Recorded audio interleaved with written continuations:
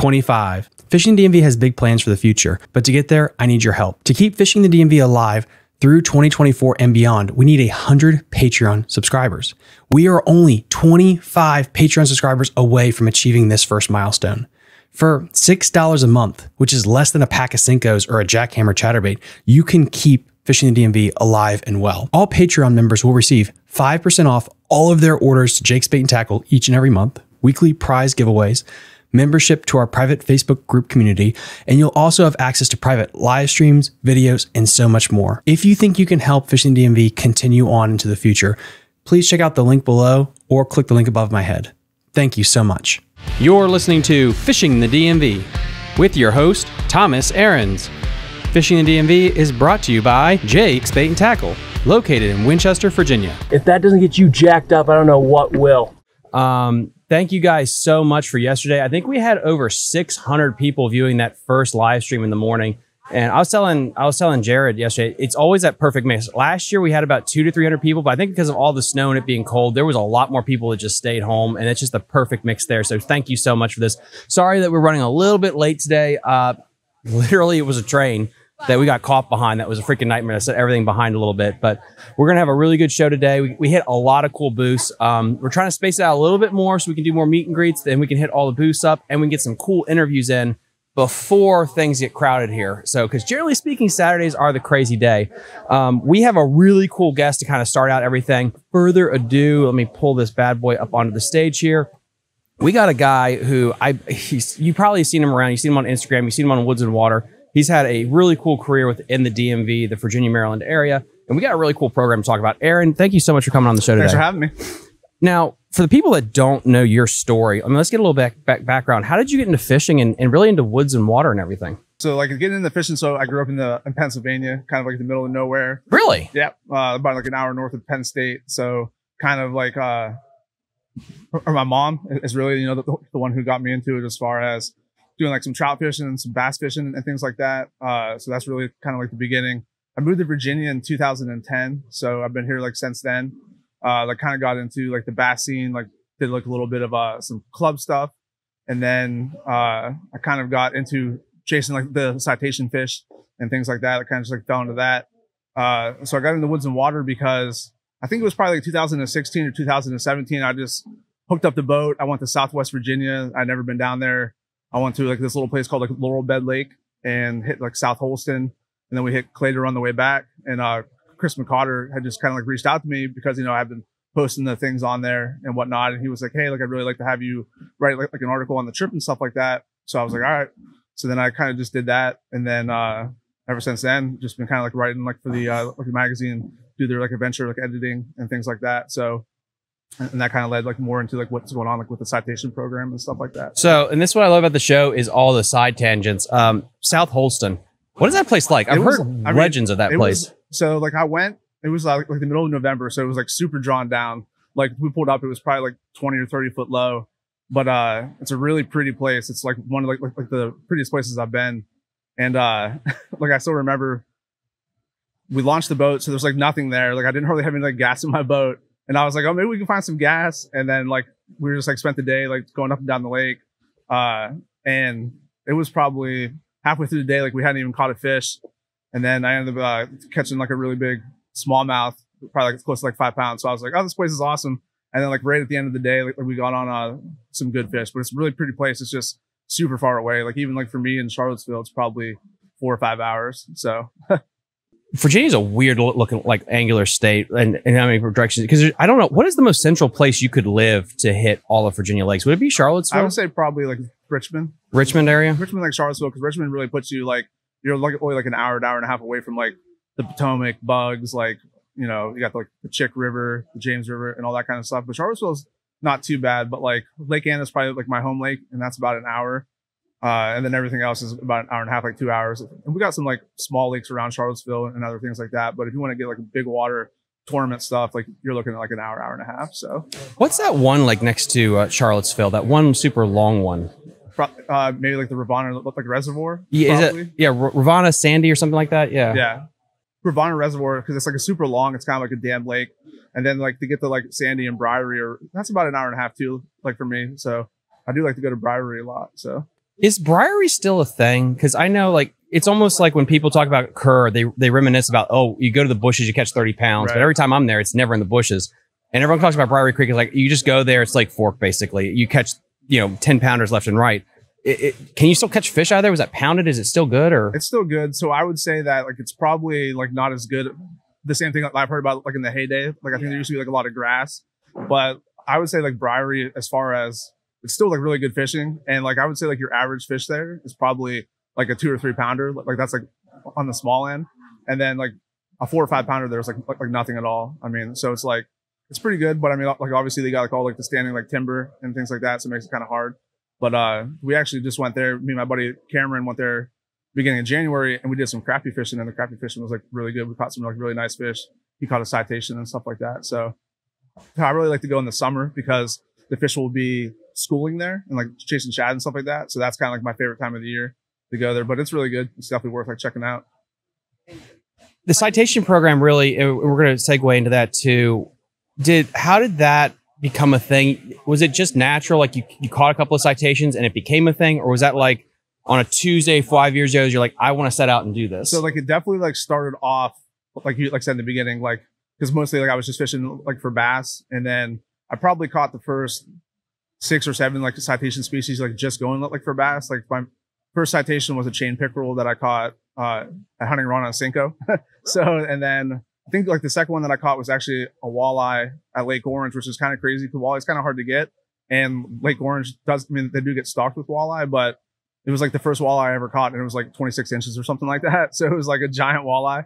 And Did you- then did you so- purposely try to catch like the- like so senko on a pickerel. Probably not like you were trying to go for it but the walleye was that actually No, you were trying like- to catch that? No, like I was actually throwing like a jerk bait just uh, for bass, and then that's probably about how the first, I'd say like six, seven, or eight went because like I would just like catch like stuff like like bass fishing, like yellow perch, white perch, uh, got the pickerel, got the bass, uh, and then like once I started getting to like seven or eight, like that's when I kind of was like, okay, like I kind of want to start doing this, like start to target them like specifically and things like that. So uh once I got to like so the citation program, like every five species that you get, like you get like a master level like angler.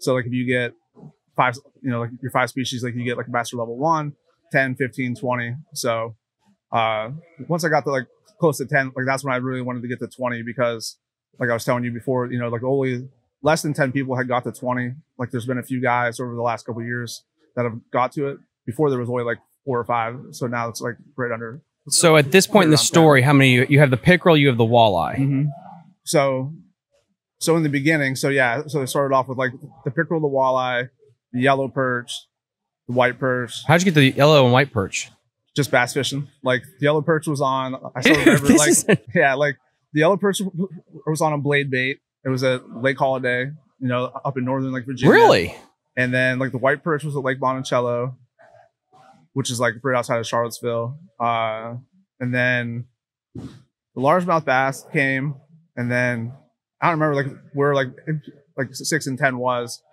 Uh, I remember like the tenth fish I think was it was a red ear sunfish.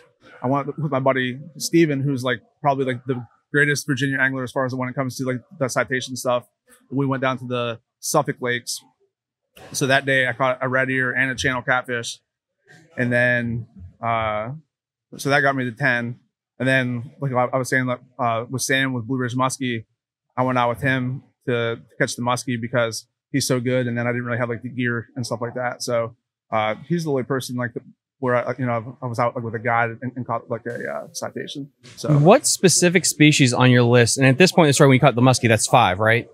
Or is the that muskie probably put me close to 10. close to 10? So, yeah. How many species did you actually pursue and they weren't like, oh, this is a cool accident? Yeah. So I would say up to about 10 or 12 was just like like accidental. But then like I, like I said, like I started to really like focus on.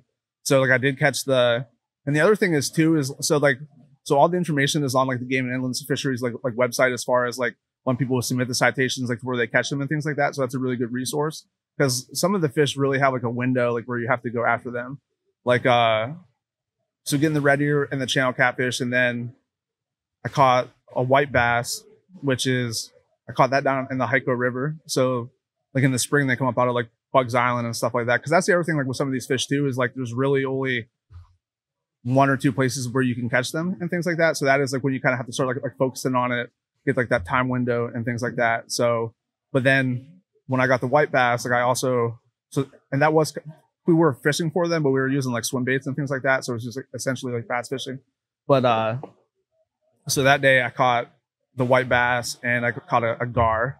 So just like wild, like fishing for that. So some of Wait, that. how'd you catch a been- gar? Did you have to snag? Like, I mean, did you like foul hook it or you actually get it? No, like, like, it actually had- had bit it. Like, Holy crap. it was The same thing, throwing like the little like swim bait, and then uh, like the trout. So like I've gotten a, a brook trout and a rainbow trout. So that was both of those came at Cedar Creek, which is like a place in Southwest Virginia. So I would definitely say like a lot of it has been being like stubborn, like stubborn and lucky because like with the like those trout, like me and my buddy Brian went the last like two years. It's like a three hour drive each way, and then like the both the times it was like this like like this time of year, so it's like freezing cold. So like you just got to go out there and just like do it. So like I- like I have got lucky, and as far as some of the ones I've got, like I got on the first try, like like you just went out, like and just happened like, like to catch them. But then like some of them, you know, like uh, it was probably funny. Like like one of the hardest ones was the crappie. So yeah, because what I've found is like I was saying, like with fishing like, like Lake Anna, there's just like not that many there. Like I like I probably caught five thousand crappie like before like I caught like like the first like citation. But then I realized like you gotta go to like the better waters and things like that. So That's really fascinating. So, I mean, let's get to some questions here. I got I got so many questions there. Uh, let's start with Jesse's in the chat. Audio a little bit better now. Okay, cool. Uh, Jess Kirk, uh, is it true Aaron has never caught a small fish? It sounds like the most interesting man in the world stuff. We got we got Jesse again, and yeah, let's keep the comments flowing here. Uh, let me check the old Instagram too. And Streamyard, could you please show the viewers and comments on Streamyard for Instagram? We got 15 no we got 20 people on instagram. We got 20 so we got about 43 that's pretty good for this early in the morning. Uh, let's keep it rolling in here with questions. When is aaron's black book of hotspots being released? Jesse jesse get on down here get asking these questions. We gotta get the woods and water, and then because lots of times like those articles, uh, I'll put them like in the articles and stuff like that. So. There you have it can find lots of guys. we got rebecca rebecca beaver creek and the rivanna reservoir in charlottesville okay and sandy river and briery at farmville lake Gord's Gordonsville and e- Northeast River, Mhm. but a kayak in the Rapidan from 29 at the Green Mills line down to Somerset. All are great places. Yep, I would disagree 100%. with Beaver Creek. You could fill Beaver Creek in with cement for all I care. So Why do you say that? It's just like one of like it's honestly like one of like the worst places I've ever fished. Like it's like I don't know why it's like so bad. Like the fish are small. It's terrible. So, but uh, or, or that's right outside of uh Crozet. So I have fished there. And then right here with this one, uh, we got a, Me- a Mepps drive. Uh, a Mepps drives a smallmouth crazy in the rivers, but a Rico in northern lakes. Lake Champlain smallies act like torpedoes after a Rico. I have witnessed it uh, in whitecaps. No, Rebecca, 100 percent there. Uh, the smallmouth are just absolutely vivacious. Um, I really feel like with a lot of these citations, there's two things. I think it's a cultural perspective of, of people just aren't into it, and the second is people don't realize they have a citation. Yeah. honestly. Well, like, yeah, like I definitely like agree with like as far as like especially like it's kind of interesting because I know like the game and inland fishery like really kind of use the citation program maybe to, like to monitor like how big like the fish are being caught in like certain lakes and things like that. But there's definitely like a lot of people that don't submit like the citations. Like a like you said, like people either don't know you do have to pay like five dollars to submit it, and then you get like a certificate. And we can kind of talk about that how the program's changed a little bit. But uh, and then people like like I know somebody who's caught probably who has caught a 10 pounder like at Sandy and has caught a bunch of citations, but they just don't turn them in because they don't want people to know, Mm. you know. So, so that's you know kind of how it is too. So, but you, like you definitely have people that like don't know about it, but, but it is a good program. It's very interesting. But they did make a change in 2020. They made a change to the program uh, where they kind of like split it. So like there was 25 species, like now there's 30 they kind of changed the program as far as like how they used to mail you those like certificates and now you go online and you have to print them off and i know like a lot of people are not really happy because they feel like you have to do the work you're paying the money and the certificate's not just quite as nice as it used to be so I wonder why that they're doing that. Honestly, that's a good question like i don't know because you can you can market and promote that stuff and really hype that up. And if you made a really cool plaque, a wooden plaque, how much does that actually cost to do something like that? exactly. And I think that's what they used to do, like like back in the day. Like I think they actually did kind of like send you like a personalized to like each species and things like that. So like I definitely think they are missing an opportunity, like you said, to kind of promote the program because it could be a little bit better. Because like you said, especially like if you're making the people pay for it and then like you have to print like the stuff off, like that like doesn't sit well with me. I think it doesn't sit well with a lot of other people too. No, it, it shouldn't. And and it's there's so many fun things you could do with that. Like um, I, I saw over at their booth, and uh, Alex um, Alex McCrickard, if you are coming in today, please let me know. Text me so we can get you on the show. I want to talk about this too. Uh, they're do doing like Alex. Alex is really good. yeah, Alex is really awesome. Uh, you know, huge shout out to I had you on the show last year, and I got to go down to the Richmond uh, headquarters and, and talk to you uh, and your boss, by the way. Hopefully, I can get I get to him again as well. They're doing the three bass challenge as well, Mhm. which I think is a cool idea. There's so many different things you can do. If you look at saltwater, you have like you know the backwater challenge, which I think is a snook, redfish, tarpon. There's so many cool little challenges there, and I think people, like you said, would be more invested in that if you had some better incentive, a plaque, a trophy, something cool like Yeah. that. And when you're talking about these citations programs, I think it's the exact same thing. If you're just going to get a pamphlet, you're like, meh, whatever. Yeah. But yeah, if you made the award a pretty a little bit cooler, a little bit more renowned, people would be 100% in that. Exactly. Um, and the other thing really is with a largemouth, a catfish, a muskie, smallmouth, some of the big species, we as anglers know this is a big fish. This is you just know that. But like with the bluegill, with the pickerel, yeah. is that something that you just had to be conscious of and be like, oh, I better check this fish to see if it's a, if it, or Yeah, did you like, for memorize sure, it? Like, I mean, at this point, I have most of them like memorized, but uh, but, like all that information is like on like the game and it's like fishery like website as far as like you know like what the list is and things like that. So yeah, what was the hardest one? the hardest. Well, like I said, like unfortunately, like for some reason, like like the crappie was like extremely hard to get. Uh, for me, and now I've got like four or five or whatever. But like that was probably the one that I spent the most time and caught the most like fish. Uh, and then like getting the trout, like just as far as like the conditions and like I said, like how far you had to drive and things like that. So, but yeah, like it, it, took me a really long time to, to get the crappie. So Now is that the black crappie or white crappie? I don't. Th- I maybe I've asked so, that already. So that's one of the things. So when they changed the program in 2020, when they went from 25 to 30, they kind of split it. So Yeah. before it used to just be a crappie, but now they actually have one for black and one for white, which interestingly enough. So I caught the white with Josh, who I know you're gonna have on here in a little bit. Me and him caught that down at Bugs, which that was one of those things where it was just like the first time I went there like with him, I just happened to catch it. But it was pretty crazy that day. It was like the water was like 37 or 38 degrees. Like we had to like Shit. break ice and stuff like that. So that was a pretty cool story. So That's freaking awesome, dude. yeah, it was it was pretty nuts. So Is this just for fre- uh, freshwater species, correct? Not saltwater. so they do have a separate uh program like, like for the salt like i don't think it's run through the game and inland fishery but there is they do have a saltwater citation like program so but i don't know Mm. much about it and i know that it's a little bit different as far as i think like uh the documentation process and stuff is a little bit different like i think like the guides where you have to take it to like a marina and things like that like you can't like submit them like yourself as far as i know so Is that something you ever want to do? so once, once you once you conquer all the freshwater So, species, maybe. So, uh, so I have gotten into the saltwater of the fishing a little bit more over the last couple of years. Like we've taken a couple trips, but uh, getting into that saltwater is like a whole other world as far as like money and having the boat and the equipment and things like that. But we try to get out. Uh, we've done a cobia trip the last two years, and then last year we went to the Outer Banks and we were supposed to go out for tuna, which is like a bucket list thing. We were going to go out to like the Gulf Stream, fish for tuna, but it was so windy that we had to stay inshore. But we ended up catching a bunch of king mackerel and uh, Dude, that's so much fun. triggerfish and stuff like that. So Ah. it, it was awesome. That's And freaking like, fun. So good to eat too. So All right, we got some more comments right here. We got uh, 4RHS. That's a great idea. Release a publication of Virginia fishing waters, but add the hot spots for season and any species and by most prevalent lures to use. That would be extremely helpful. Yeah, absolutely. And I like the idea of just like kind of like, I think a bent, I like, uh, there's an old show I used to watch called The Spanish Fly. Uh, I think his name, his name was Jose Wejebe. And he had this cool saying, which is a bent pole is a happy pole. And as I've gotten older, there's so many species that I want to catch. It's not just about tournament bass fishing. I really, I, you guys have known this. I want to catch a carp on a fly because I hear that like it's like a trash bonefish. It's a lot of fun.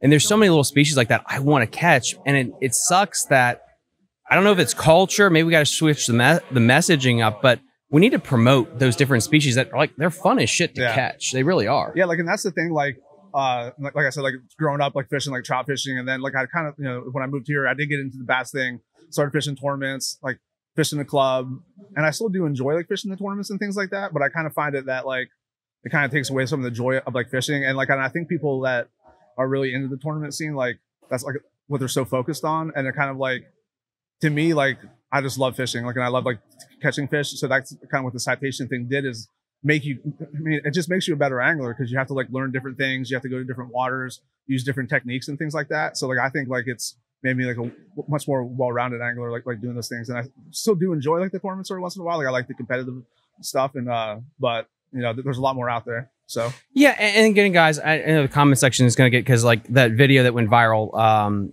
yesterday about Randy Blaukat and everything. I'm not knocking tournament fishing. I'm saying like there's other things too. Like when I got, I finally got in 2024, I got or 2023. My apologies. I got forward facing sonar. I really got into crappie fishing and pan fishing again. It was just kind of fun to mess around with that. So it's just with also with tournament fishing, which I still enjoy. There's so many different things.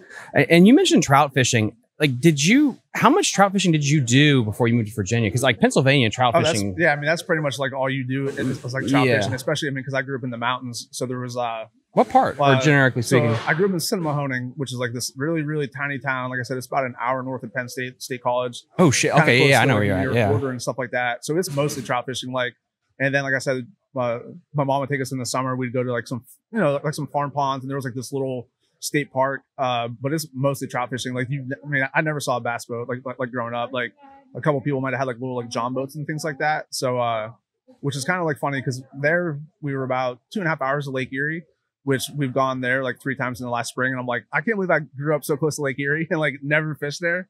Like after we've gone the last couple years, uh, I love Lake Erie, and this year we're gonna go to uh, Cayuga in late May. So that place is supposed to be really, really great. Like, you know, the Major League like fishing was there like last year. So we're gonna give that a try this spring. So, uh, but like you were saying, like with the, the forward facing sonar, like that, I have it on my boat, and that's kind of like I, I got into crappie fishing right before I had that.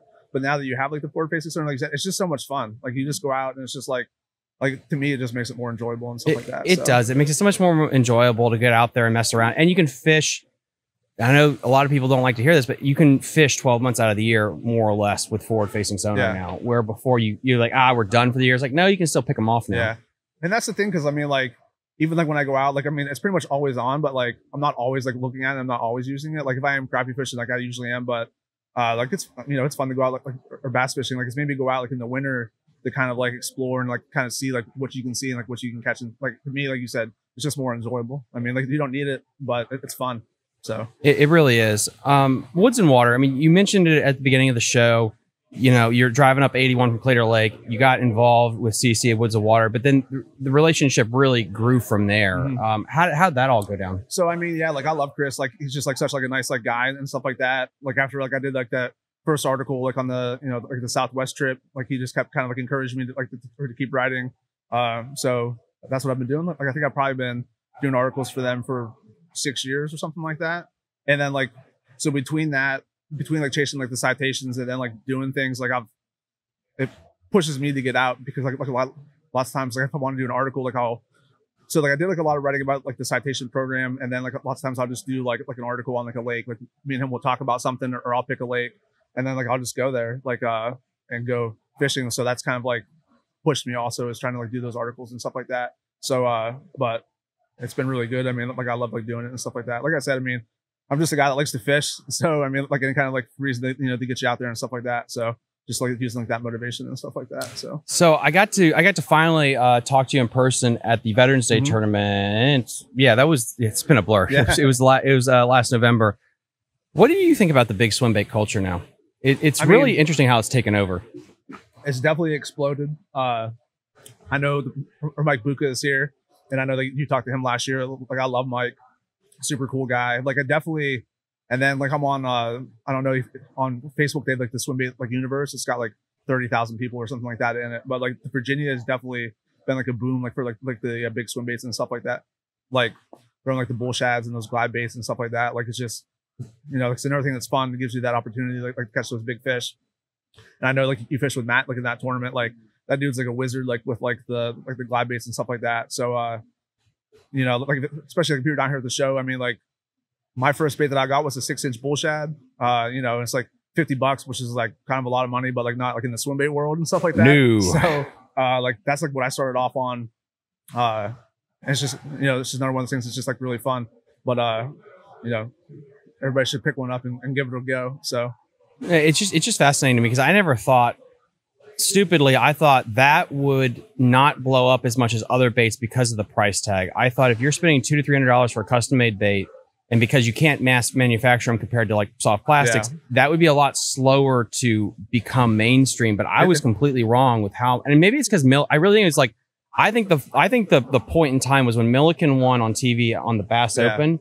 I really feel like in my mind, after that point is when you saw the sales just explode. I could be Yeah. wrong, but it's insane. Well, like, like you see like a lot of people coming out now with, with those like like cheaper like swim baits and things like, like you know in the swim bait world like you see like a lot of things now getting like mass produced that are like 20 30 dollars and things like that so i think people are getting into that uh but yeah like i mean it, it's crazy that, like you said like in uh i don't know if my wife's watching or not but like dude i got the amount of swim baits that i own now is like so stupid like and i just have them like sitting in boxes and uh i have way too much money invested in baits at this point so and then like and then like once again like most of my time like these days like i like to go crappy fishing so i'm using like a one sixteen thousand jig that costs like 50 cents and then i got like another rod with like a $200 like swim bait tied on so Oh it's my kind of crazy Goodness. Oh, we got some. We got uh, we got Jess. Uh, we got Jesse again. Aaron is a great dude. Good show. Jess, come on, ask some questions. Stop, stop just complimenting him. It's getting a little weird. He's married. Um, we got TDC Havoc. What time is the meet and greet today? On the road right now, heading to the show.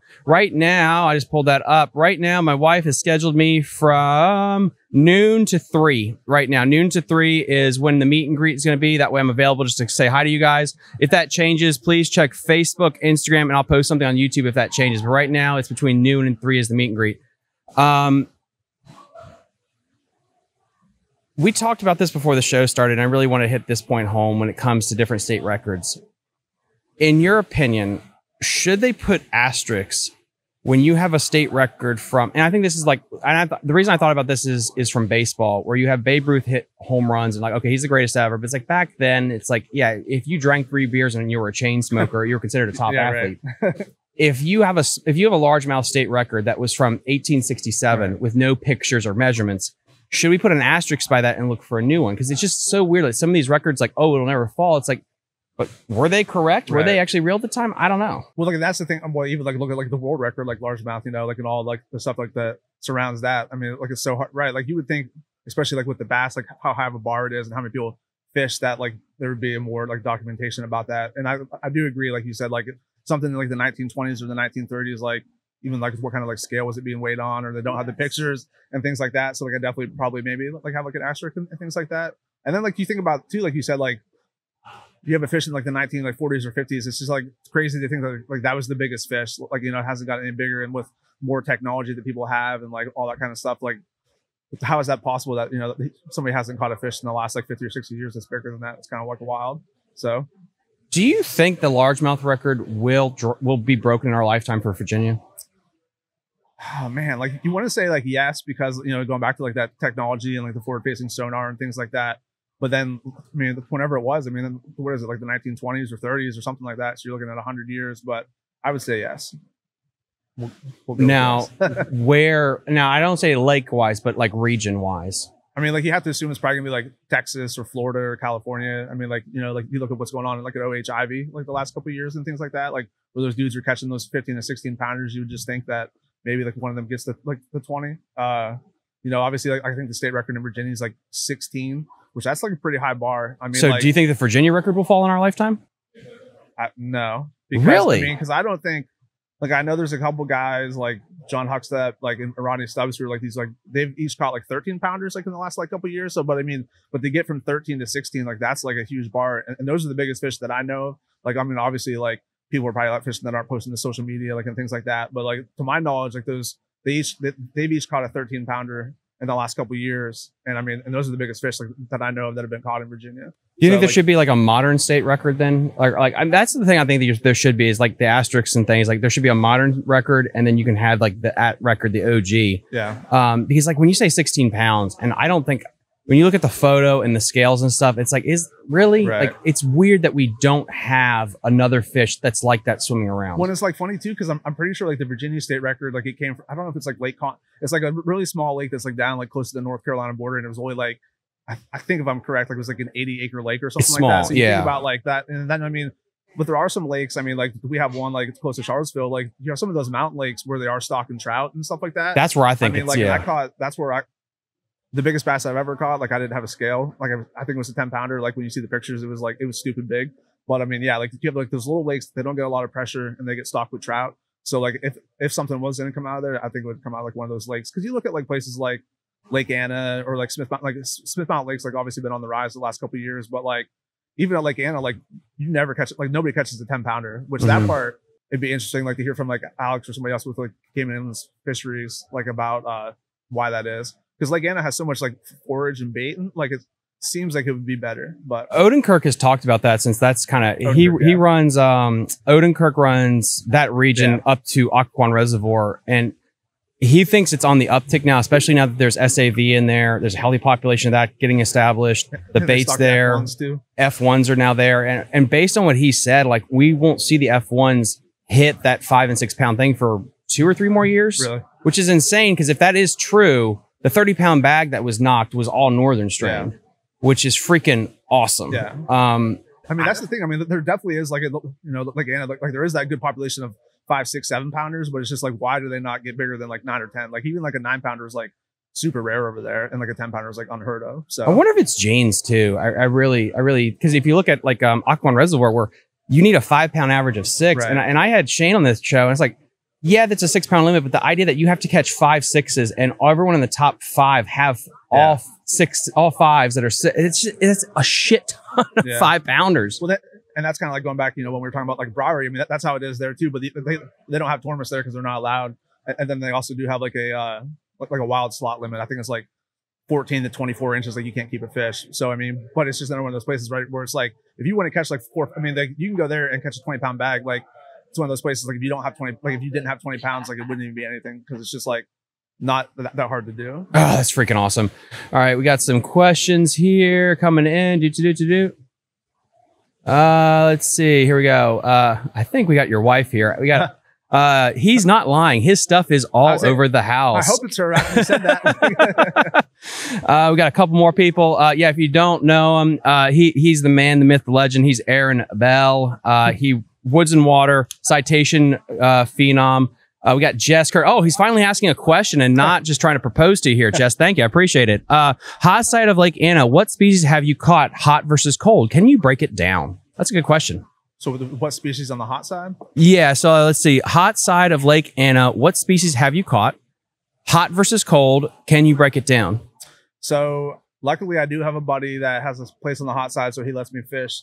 Like the bass fishing is really good as far as if you want to go catch like numbers and things like that. Like, and there are, you know, I've caught a few like four or five pounders over there, but if you want to go to like, it's one of those places where you can catch like 50, 75 fish a day. And then like obviously like this time of year you can go throw top water, you know, so that's kind of cool. Uh, there's a lot of there's a lot of white perch, like like the white perch on the hot side are a lot bigger too than the cold side, which I don't know why. Uh, I actually did catch a citation crappie on the hot side, but there's like the crappie fishing is nowhere near as good on the hot side as it is the cold side. And, the, and I have caught stripers on the hot side, but it's once again like the cold side's way better. And if you want to catch channel catfish, the hot side's the place to go. But they're also like 12 inches. But like there's like an infestation of channel catfish there. I don't know why.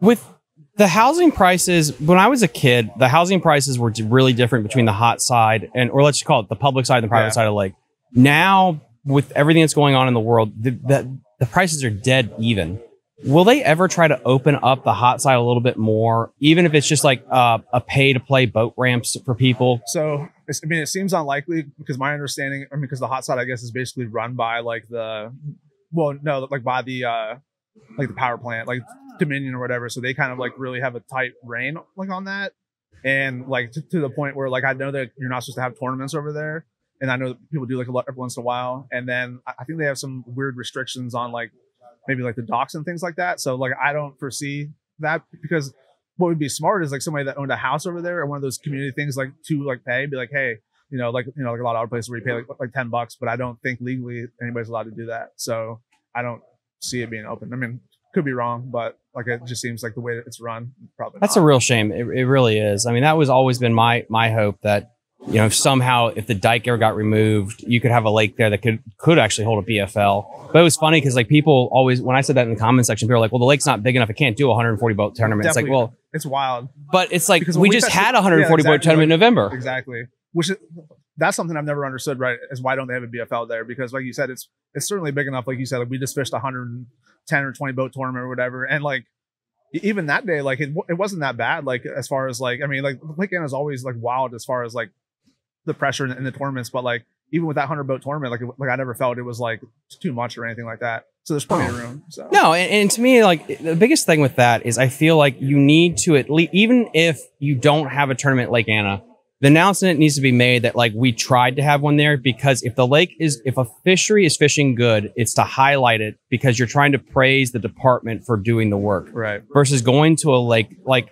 the classic example is when FLW would always go to Beaver every year. It was shit or the Sabine for bass, and it's because they're getting paid. I get that to an extent, Yeah. but if somebody puts a lot of work in to like make the lake good, you got to highlight it somehow to, to promote it. Um, I don't know. Those are kind just of like my thoughts interesting, like, like as far as like you said, like with that, as far as like there's like a double edged sword with the promotion because like you know because then the places get exposed, which is good. I mean, like you said, like everybody wants to like to make the money and things like that, but then you look at like where some of these like tournaments go, like this year, like with the Major League Bass like, going to the Chowan River, like in North Carolina, like I think that's really gonna put that place on the map, and you're gonna see that place explode. Like I think that's gonna be like a really good tournament like this spring. it's So, a it's a fun dynamic because you have the departments uh you have the state departments where they try to put money into a fishery to make it better Yeah. but then you have the anglers that are like they want you to we want you to come in and fix our fisheries but then we don't want to tell people about yeah, exactly. that and that's where i think there's this disconnect there it's like if you want people to improve the fisheries the, the double-edged sword of that they'll improve it but then they have to promote it or they won't do it anymore Right.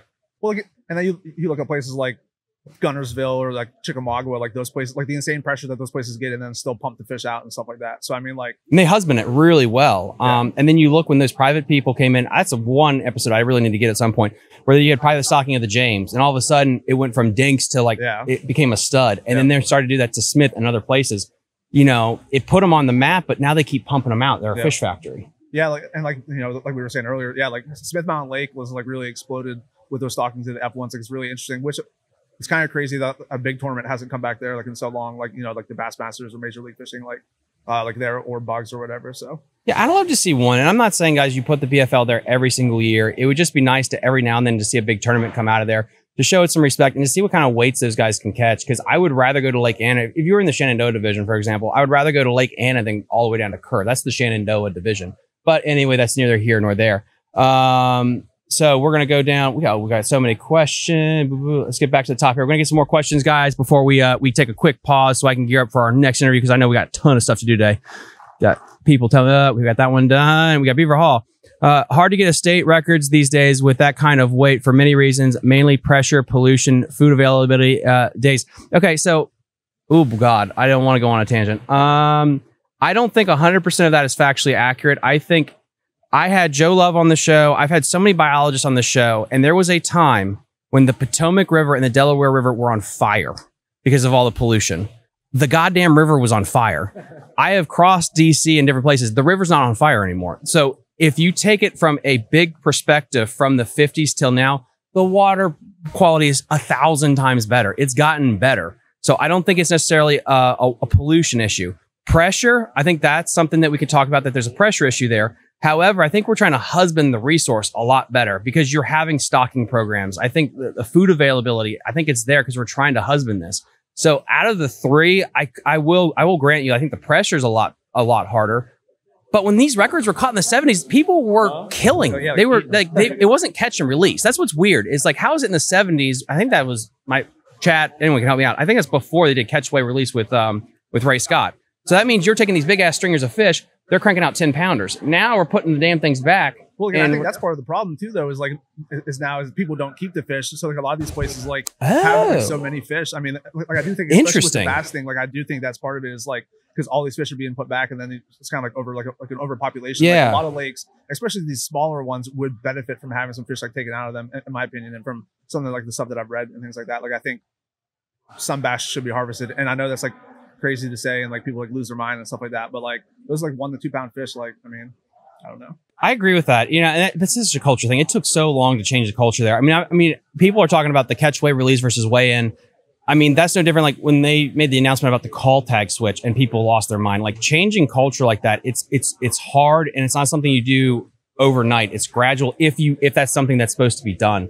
Um, but I agree with that. Uh, let's see. Uh, wasn't the MLF at the James a year ago or so? Yes, they were. I mean, there was a year like it was like the Bass Open like, MLF. It was like yeah, they were getting pounded. yeah, and again, I'm not saying like you have back to back tournaments like that, but the more waters you can have big tournaments on, you can diversify it. So hopefully you don't have to pound just the James River seven times. Uh, let's see, uh, where am I at? Be, dude, like, uh, so I'm at the Richmond Expo. You can read all the social media posts. Hopefully, you can see one of those. But I'm at the Richmond Expo all day.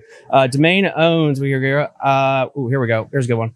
Uh, Green David 41 agreed. Not sure how it translates to larger bodies of water, but for a long, uh, it's 30 pounds per acre per year that needs to be harvested. Yeah, I mean, it's such a fine line. We went from you keep everything to now you release everything, and we're trying to find that like that balanced ground there. Um, Aaron, I did want to make sure that we highlight the magazines and the medals here too. Sure. So start start Yeah. where we like to start. So I mean, yeah. So like talking like with like the, the citation program, like one of the nice things they do, even though it is kind of hard to get, is they do send you these pins. Uh, you know, so like if you get an angler of the month, like they'll send you a pin, and then so every month, and it's another one of those things where you can go online and they'll have it listed like on the website. So if you get the biggest fish of the month, like they'll send you the thing, and then like uh, at the end of the year, if you catch like the biggest fish of the year, they'll send you uh, one too. Which I think this one is one of the angler of the year ones. So Start up to the, the fancy cam.